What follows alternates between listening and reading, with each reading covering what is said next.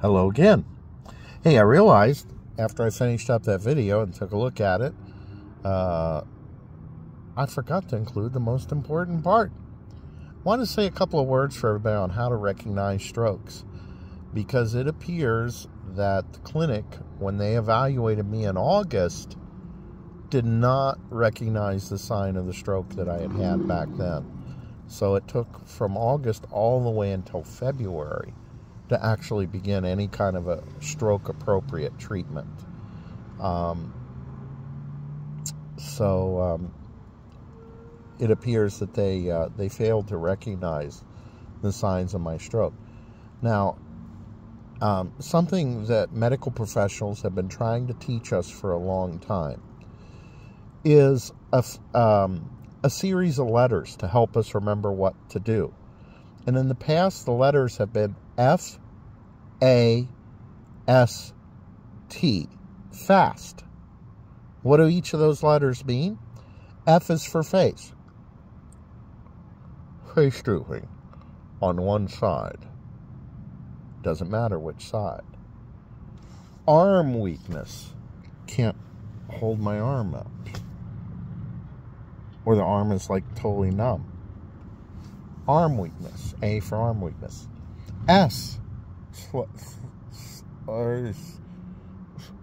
uh, slur speech. Can't find words all of a sudden. Speech is being slurred. T stands for time to call 911 or whatever your emergency number is in your country. So face drooping doesn't matter which side. Arm weakness. Uh, speech slurring. T, time to call 911. Now, it turns out that's not the latest phrase. And I think the people at the clinic weren't properly schooled in the latest phrase.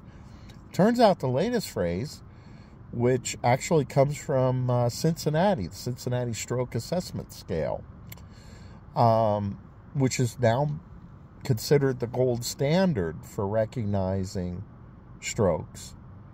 The new phrase is be fast. B E F A S T. B stands for balance. Whoa, all of a sudden I'm just dizzy. I don't know why.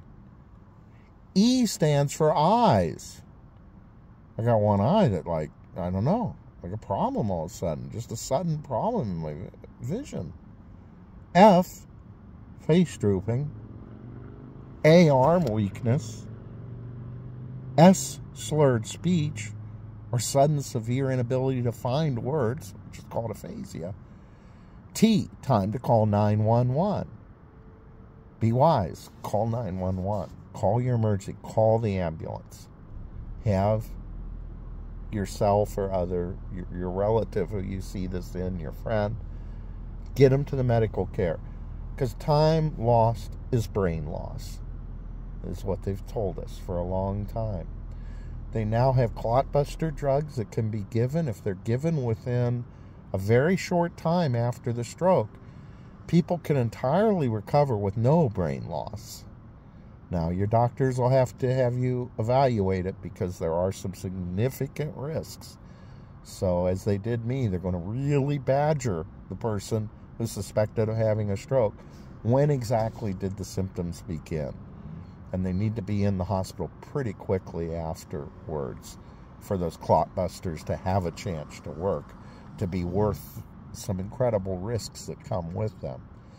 Um, but, um, you know, when I experienced this emergency room visit, within minutes, they treat it like having a heart attack because heart attacks and strokes are a very similar mechanism.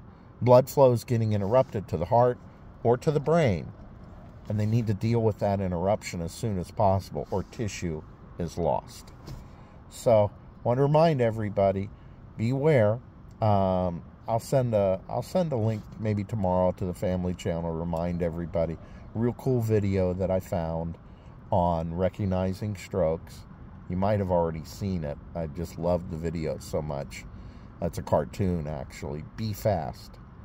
Uh, balance, eyes, face drooping, arm weakness, slurred speech. Time to call 911. So be live, be well, be healthy.